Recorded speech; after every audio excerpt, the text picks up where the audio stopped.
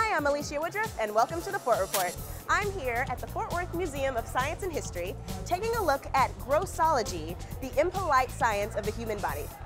Clearly, when it comes to fun stuff, the Fort Worth Museum of Science and History only has eyes for you.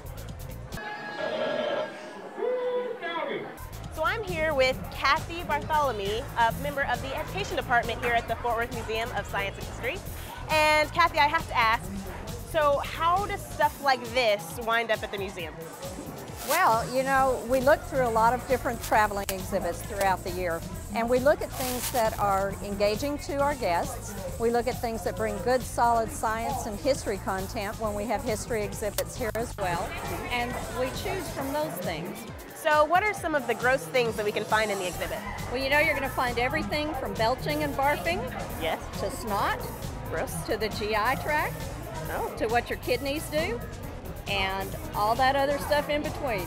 Awesome. All the things that cause gas.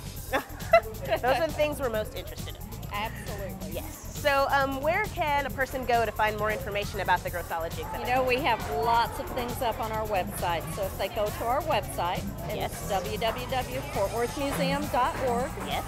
They can find information there. Um, when you buy an exhibit ticket to come in, grossology is a part of our exhibit, so it's it is included with the exhibit ticket.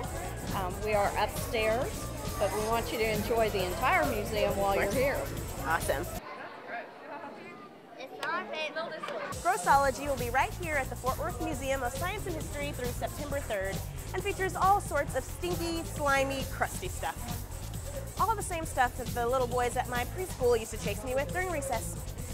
So once you've had your fill of disgusting, there are a few less stomach-turning events happening at the Cultural District. Beginning March 11th, you can visit the Kimbell Art Museum to see The Age of Impressionism, Great French Paintings from the Clark, the touring exhibition of French Impressionist masterpieces from the Sterling and Francine Clark Art Institute. A free symposium on the exhibit is scheduled for 10 a.m. March 10th. On display until March 25th is the Sandra Day O'Connor exhibit at the National Cowgirl Museum and Hall of Fame. The exhibit celebrates 2002 Hall of Fame honoree Sandra Day O'Connor on the 30th anniversary of her appointment to the United States Supreme Court.